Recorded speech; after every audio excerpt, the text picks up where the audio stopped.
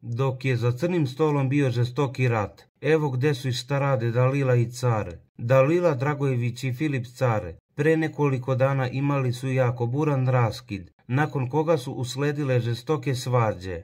Njih dvoje od tada nisu imali komunikaciju i trude se da se izbjegavaju u širokom luku. Međutim, tokom glasanja za najsamoživiju osobu, bivši par se našao zajedno u pušionici, ali je susret prošao bez reči i pogleda. Kako će njihov odnos teći u narednim danima, ostaje da vidimo. Za još vesti o zadrugarima, pratite kanal Centar dešavanja.